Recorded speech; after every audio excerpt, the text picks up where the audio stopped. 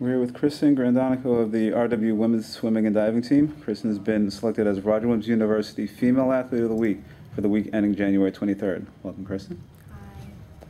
You helped the Hawks defeat the University of New England last weekend while winning three events. Can you talk about the performance? Um, our meet towards UNE was really well. Um, I swam in the medley relay in the beginning, and um, I swam freestyle in the end. And we ended up touching out the UNE team next to us, um, and started out with first, which was really good. Um, Julie wanted to start the meet off strong.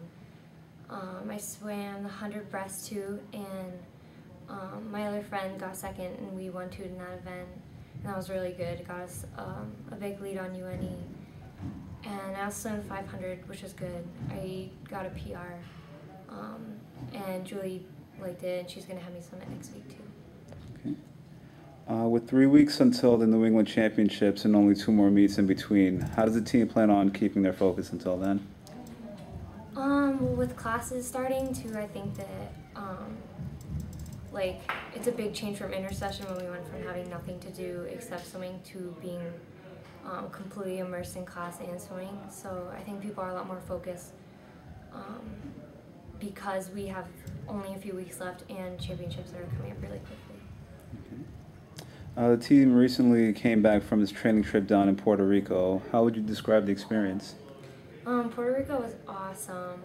It was a really great time for um, people on the team to really get to know other people.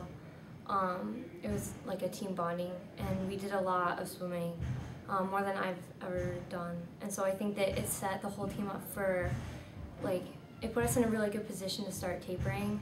And I think that um, people are going to do really great times um, compared from last year because we did so much more training than we would have done here.